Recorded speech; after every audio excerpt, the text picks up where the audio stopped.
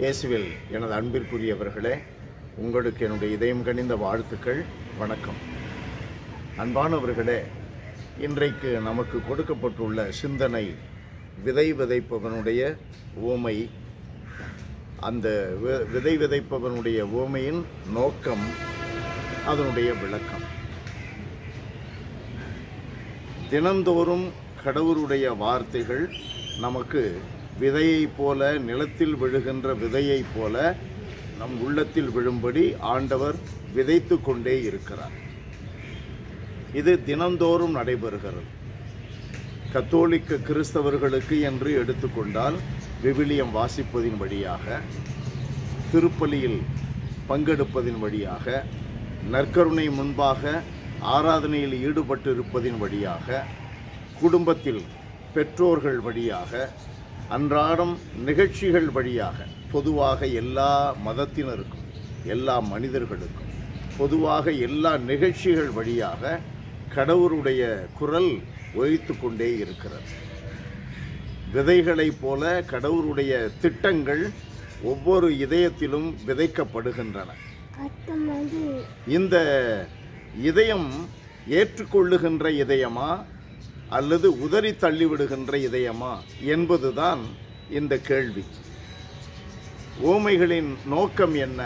விதை விதைப்பவனுடைய ஓமையின் நோக்கம் என்ன? புரிந்து கொள்ள வேண்டும். புரிந்து கடவுளுடைய திட்டத்தின்படி நடக்க வேண்டும். அதுதான். விளக்கம் என்ன? பாறையில் விழுகின்ற விதை முற்றடிகள் நடுவிலே விழுகின்ற விதை பாதையில் விழுகின்ற விதை நல்ல நிலத்தில் விழுகின்ற விதை.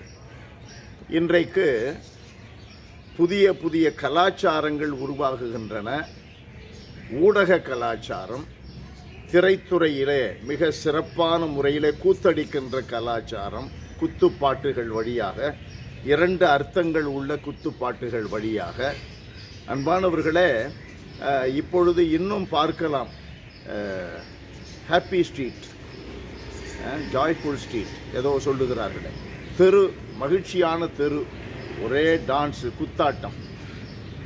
இப்படிப்பட்ட புதிய கலாச்சாரங்கள் வழியாகவும் கடவுளுடைய வார்த்தைகள் கடவுளுடைய திட்டங்கள் விதைகளைப் போல தெளிக்கப்படுகின்றன.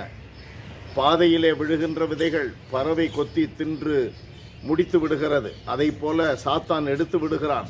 எடுத்த எடுப்பிலேயே விதைத்த வேகத்திலேயே கடவுளுடைய திட்டத்தை மனிதனுடைய மனசாட்சி என்று எடுத்து விடுகிறான் சாத்தான். அதைப் போலத்தான் முச்செடிகள் நடுவே மிக ஆர்வமாக ஏற்றுக்கொள்ளுகிறார்கள். பாறையிலே விழுந்த விதை போல ஆர்வமாக எடுத்துக்கொள்ளுகிறார்கள். வேறு இல்லாமல் போகிறது. ஆர்வமாக எடுத்துக்கொள்ளுகிறார்கள். கவலைகள் இன்பங்கள் உலக நாட்டங்கள் அனைத்தையும் எடுத்து விடுகிறது.